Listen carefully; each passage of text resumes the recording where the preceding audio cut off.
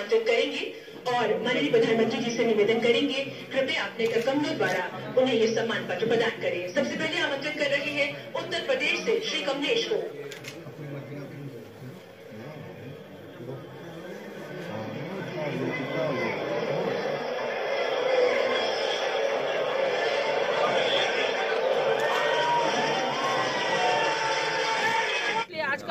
पे ज़्यादा we are shifting towards तो इसमें बेस क्या रहता है दिस इज़ ऑल क्या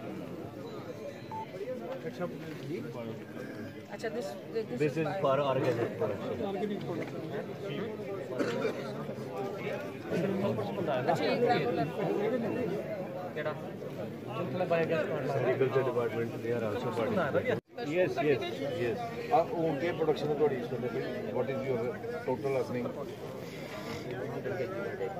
अच्छा इन अपना इलम दो। हाँ? Sale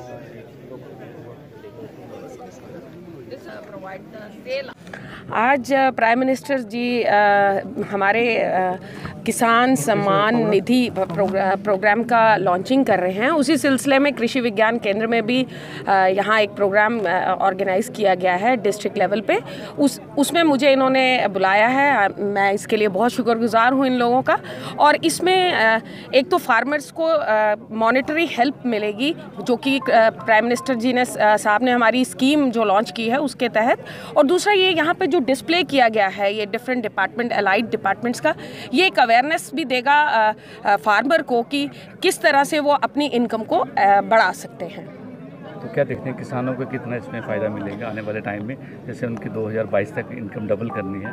एक एजेंडा भी है मिशन भी है। ये एक मिशन है इस पर काम हो रहा है। हम एक्सपेक्ट करते हैं कि ये इससे उनकी इनकम पहुँचेगी डबल तो जिस प्रकार के जो एग्जीबिशंस हैं डिस्प्ले किया है फार्मर ने अपना प्रोड्यूस तो उससे क्या देखते हैं? कितनी उसमें ये पता चलता है कि हमारा किसान कठुआ डिस्ट्रिक्ट का बहुत अवेयर है और बहुत अच्छा काम कर रहा है लेकिन इसमें जो आगे और अच्छा काम कर इनसे करवाया जाए उसके लिए किसान विज्ञान केंद्र जो है वो कॉन्क्रीट एफर्ट्स कर रहा है और उसके लिए बहुत हम इनके शुक्रगुजार हैं।